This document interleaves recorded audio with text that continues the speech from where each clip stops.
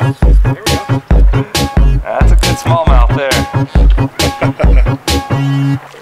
I have a pen. Wow. I have an apple. I mean, it's pretty darn close. Apple pen. Laying that I fish, that's have a a better pen. right there. I have pineapple. Oh, dude. Uh, pineapple pen. Apple pen. Pineapple On Hey, what's up, guys? Nick here, and today we're going to be fishing on the Sacramento River for smallmouth bass, spotted bass, and even those crossbreeds, those meanmouth. Um, we're launching out of an area called Vieras, which is just right across from Rio Vista, California. It's that whole Isleton area. Uh, basically, right out from the ramp, all the way headed up towards Sacramento is good smallmouth water from Steamboat Slough to the main Sacramento River to Georgiana Slough. There's a lot of smallmouth in that area.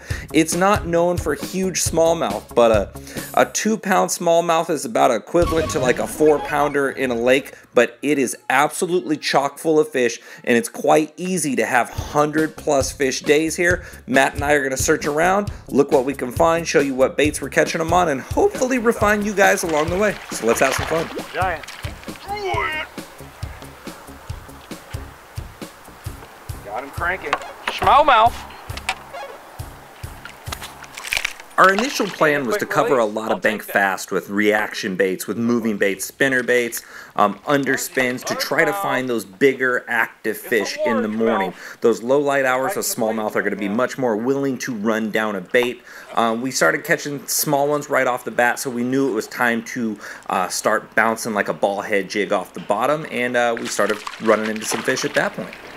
Little smallmouth on the armor craw. I'll take it. Spotted ah. bass. Feels good. It's good. It's good. Oh yeah, it's good.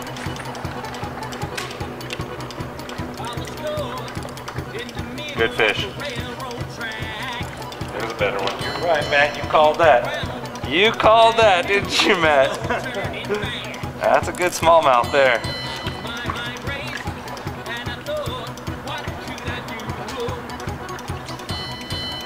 I didn't bring a net either. I can't boat flip him. Current, I'm gonna take my time with him. Couple pounds. Yeah.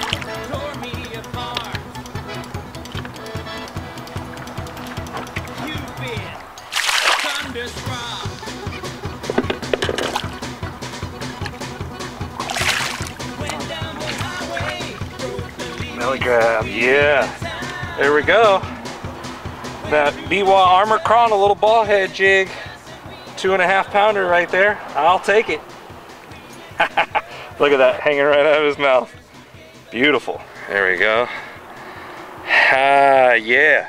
So we're covering, uh, you know, basically bridge piling. It's not really a piling, it's more like a giant cement footer. Uh, Matt's throwing blades on a lot of this stuff and he's got a lot of his bigger ones there. I'm throwing a little quarter ounce ball head. Uh, I think that's a 2-0 hook on there with a little miniature Biwaa armor craw. I got 30 pound braid and I got about a three and a half uh, foot, 15 pound, 100% P-line fluorocarbon leader. And the reason why I like throwing a spinning rod up to these, it doesn't matter the depth. You could pitch up and hit it and you just leave your clutch open, you know, leave your bail open and just let it free fall down it. If they're hunkered right up against it, it's gonna free fall right in front of their face. Watch to see if your line stops all of a sudden. They'll grab it on the way down, it'll stop. See if it changes directions, click over, reel up on them. And with an exposed little jig head like that, it's, it's gonna do the work. That little light wire hook's gonna plant right into them.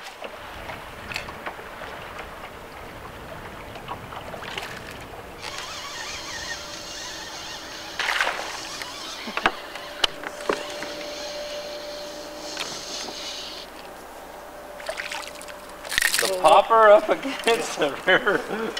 Literally, right. Got it. You can see that little corner right there behind us. I I threw up and wrapped around in behind that little shade pocket on the other side of that pillar, and that fish didn't hit this bait until that bait got right up, trapped up against the pillar, and it literally pinned it against the pillar. Pretty awesome bite. Smallmouth. Oh yeah. Matt, you're up front. Here's one. Fishing out a little deeper with that ball head and that armor craw again. Oh, look at him run. Look at him run. Oh, it's a spot? Is that a spot or a smallie? Spot. Yeah. Yeah. It could be a hybrid. Nice fish. Oh, that is a nice fish, dude. Yeah. That's a crossbreed. Isn't That's a hybrid, yeah. Crossbreed. This is a spotted bass slash smallmouth crossbreed that was not going anywhere. I got him through the nose. Look at this. Look at that. Hey, look at that hook set, dude. Oh, let me explain this fish to you right here. If you see this white line right here, all right, and he's mostly brown, but you could still see some of the black spotching, and you can still see stripes across the gill. He's got a shorter mouth. Right here on top of his tongue, there's a rough spot. Little like little teeth on the tongue. That is the trait of a spotted bass, but usually a spotted bass is much lighter with black spotches, but you can see this guy's got a lot of brown. It's got that rough patch on his tongue. It's a smallmouth slash spot hybrid. Another pounder. You done yet? done yet. That's a spot. That's, dude, it's another one? No, that's a spot. No, it's another hybrid. Look at this. Yeah. Look at this. Look at the stripes. That's so sweet. You can just see the smallmouth wanting to come out in them. Dude, another chunky little guy right there. That's not bad. Whoa. Try to let them settle down. Get some decent ones in there. I want to replace those all with uh, two and a half to three and a half pounders. We'll see what happens today. I'm, I'm, I'm wacky rigging this fish. Yeah. We're wacky, Wa- wacky rig. wacky rig the catch. Giant. In the boat. Get in the boat. Yeah, that's a that's a double. Oh, crawdad. That's a double. Did he spit up? Oh yeah, good good time to look at that. Go ahead and show him on the side of the boat. Let me show him our double first. How do you get my hand on him? Oh, well, he's got the. Show him our double. Oh, you swallowed it? Yeah, let me show you the bait real quick, though. I got one behind me here. So, I was throwing that on a on a flick shake head, but if you take a look over here, I'm using the Biwaa Armored Craw here. I'm using it on a flick shake head. And if you look down here on the edge of the boat, there's what they're eating. It's the tail of a crawdad. You kind of see a little bit of color color similarities through there. There's, there could be a little more orange in this, but we're, we're pretty close. And we're getting a lot of bites on that. That Biwaa little armor craw coming through today. So my buddy Travis Averill, uh, I was showing him the pattern of the crawdads that we were finding that they were spitting up. And when you see this crawdad in the lighter orange with some white in them, we're just coming out of a full moon about three days ago. So a lot of these juvenile crawdads, these couple inch, three inchers, they molt a whole lot more often during the full moon. So he's like, oh, I got a molting 3XD uh, Strike King diving crankbait like this in a, like a couple inches. So if you look at this and compare to that, I mean, it's pretty darn close. You know, they, and the cleaner the water you get into, when you're in these clean rivers like this, matching the hatch is absolutely imperative, and that's exactly what we're doing. Hang with us, guys. We'll be right back. Attention Northern California anglers, have you been to Boat Country in Escalon with one of the largest selections of welded aluminum fishing boats from North River, Hewescraft, and now Crestliner? Chances are they have the right boat for you. And did I mention they have a full service center to take care of all your repair or boating maintenance needs? If you're a boat owner or just looking to become one, you owe it to yourself to check these guys out. Visit BoatCountryUSA.com or stop on by. We'll see you there. Bigger, better, badder. The evolution of the buzz bait is upon us. The Evolution Baits GrassBurner is a high performance bass snatcher machine.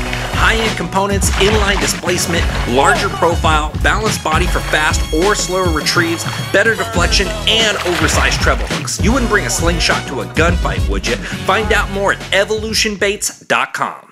Ever tried pulling a planer board next to your boat when trolling or fishing from a swift current bank? If not, you're missing out on one of the most phenomenal fish catching machines on the market today. With Yellowbird planer boards pulling your lines perpendicular to your boat, you can't help but catch more fish. Find out more by visiting www.yellowbirdproducts.com. Did you know that P-Line makes specialized lines for all your fishing needs? From the super strong abrasive resistant CXX or the low stretch super stealthy CX Premium, or maybe you're looking for invisibility or super bite detection with P-Line's 100% fluorocarbon. No matter what your needs, P-Line's got it covered. To find out more, visit pline.com. Peon, baby. Hey guys, did you know that yours truly is now hosting Lucky Tackle Box's monthly panfish instructionals? And aside from relentless fish catching, I'll be breaking down the rigging and the gear you need to get going along the way. And of course, a few extra tips to help you score more fish on the goodies included in your box. So remember, the tug is our drug. So go visit luckytacklebox.com and get signed up today. Oh, you heard they got weapons of big fish destruction? Well, you heard right. Biwaa Fishing Performance is the newest company hitting the U.S. market by storm. With some of the sickest swim baits around and non-cookie cutter style lures that you could ever get your hands on, it's time to show these fish something new. Visit Biwaa.com. Guys, uh, I want to let you know what we're doing here. We're actually drifting along with the current. The current's pretty much ripping through here pretty good. Uh, typically, what you always hear is you want to fish into the current, so you're bringing your bait down naturally with the current. That, and they're naturally, they're facing into the current, waiting for the bait fish and whatever else coming through there, it's going to feed right into them. Well, right now, we, me and Nick both decided to pick up a bait. I'm using an underspin. Nick's got a uh, what, X, X, what are you using? 3XD crankbait. 3XD crankbait, and he's uh, we, we picked these because they're a little bit faster moving baits. That way we can actually fish with the current. We're not burning out our trolling motor, and we, we can actually fish a little more effective because when we were pacing into the current, we weren't going anywhere, and it was going to really lessen our, and Nick's on. Continue, Matt. You're good. The giant, ooh, that thing was running like crazy. Not bad. Ah, there you go, nice. As you can Spotted bass on the floor. as you can see that it, you can still catch fish going with the current. We're just needing to use faster baits so that we can continue to fish and have successful casts and be able to fish in the middle of. ah, I messed up on that part. Lost my train of thought. I was watching you flop around. It's all right. Go ahead and continue, Matt. So anyway, guys, uh, I mean that's that, and that's the whole the whole idea behind this. We're we're fishing quicker now. We're covering more bank, and we're not using up our trolling motor, and we're fishing effective still. Maybe not maybe not ideal, but as you can see, we're still catching fish. And that's a little better quality. Oh, Yeah, nice there you go. smallmouth. Nice smallmouth. Yeah. Well, we're gonna continue doing this, guys. I'll keep interrupting. yeah. How about you just uh, go with fish? I'm start. Good info though, Matt. That's absolutely imperative, guys. Um, last time I was out here, I was fighting the current a lot and not fishing with it. I was fishing slower. I was really on a good popper bite, and the whole goal for me was to try to work that popper as much as possible. And fast current, it's tough, so you know, I tried facing the current the whole time, and that didn't work out, and I burned up my trolling motor pretty fast. Yeah, good one. Motor. Motor. Wow, look at that fish. Yeah. Nice one. Keep her on, Matt. Keep her on. He is pulling. Look at this. Wow. What a strong fish, dude. Should I swing him? Uh, just land them. Make sure you land them. Look at this fish. Oh, dude, that's a spot. Oh, man, look at that spot, dude. For the Sacramento River, that is a spot and a half, Look at that. Dude, he's almost, he's almost three pounds. That is awesome. Underspin. Wow. Double. That thing absolutely double. Look at that. Look how dark my little small is. That's an absolute stud right there. That is, dude. I That's did the biggest think... one I've ever caught here. Yeah, that's the by biggest one I've seen in the Sac. Wow. Awesome one. Awesome, awesome.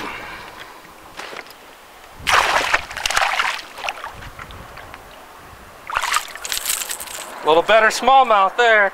Woohoo! You see the one with him? Yep. I'll take her. Dang, smallmouth are just brutes, man. Dude, he is not bad.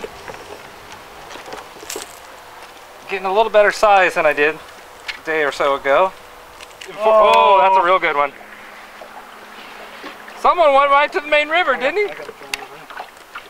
That'd be a good one. Oh, That's yeah. not a striper there, Nick? I don't know. I didn't see it. Striper. I was gonna say he turned out to the river. I don't want him to break off my bait either, so I got to take my sweet time. About a 16 incher. Went straight to the middle of the river again. Yep. Ooh, that's that. That might be a keeper striper that time. Am I off? Off. It's a little bit porcelain. A couple of them we got in there. Oh yeah. There we go.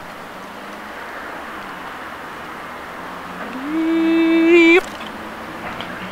A little chunkier one, Matt.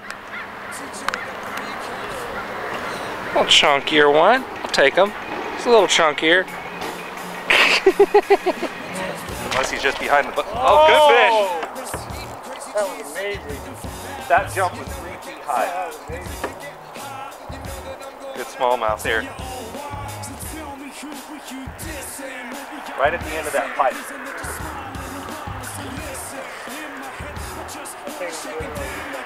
What, what a jump. What you guys miss is that fish jumped three and a half feet high out of the water behind the boat.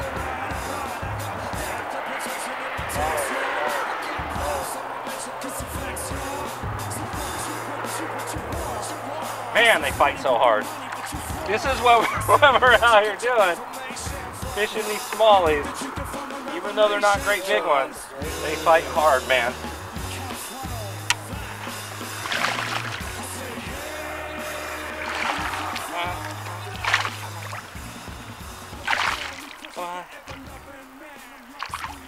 There we go.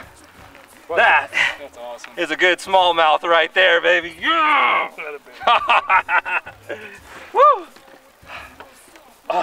Goodness. That is what we come out here for. Sacramento River smallmouth spots, man. They're not giant, but man, are they fun. We've got over a hundred fish easily on the day. Your, your time's filled with every other cast catching an eight to 10 incher, but then you get these bonus big fish occasionally, and you got a cool picture to hang up at the end of the night. We're out here in an area that's known for largemouth bass fishing, you know, and there's tons of smallmouth to be had just like that. Looks like a pretty good one, yeah. Whoa! Was a pretty good one? It's all right. We were going to release him anyway. Famous last out here, that is about one out of every 25 fish you might catch if you're doing it right would be about that size. So catching a limit 12 inch plus bass out here is not the easiest thing to do, but it can be done and occasionally you can get those three, three and a half pounders. Not bad. Not at all. Oh. A legit one. It's barely hooked.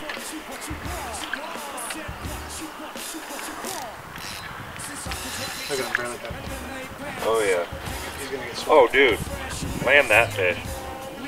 Land that fish. That's a better smallmouth right there. Coming in swinging now. Oh, dude, that's the best smallie of the day. Look at that. Yes. Dang. On the popper. That's a three pounder. That's close. It's right there. There he is. Yeah. I've been throwing that popper religiously. awesome. Yeah, what? Like 75 dinks, and then you get that. Yeah. Holy butter and a buck. Ooh. Tankosaurus.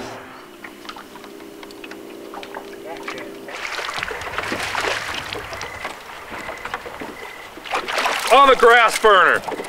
On the GrassBurner, dude. Look at that. Look at that smallmouth on the freaking GrassBurner, baby. Look at that stud on the grass. Yes. That's awesome, dude. Dude, I just had a big one blow up on it. Yes, it is. It's another keeper, dude. so far, good keeper and keeper keeper. That's a big difference for what's been happening. Could be the time too, but I'm gonna give the bait credit for sure on this one. There we go, guys. That's it for an awesome day out here on the Sacramento River with my buddy Matt Frazier. Hope you guys uh, picked up a few good tips from this. Make sure to hit up Matt on Facebook. Uh, sus- make sure to subscribe to the show on YouTube and uh, absolutely appreciate you guys watching. InformativeFisherman.com, guys. We'll see you next time.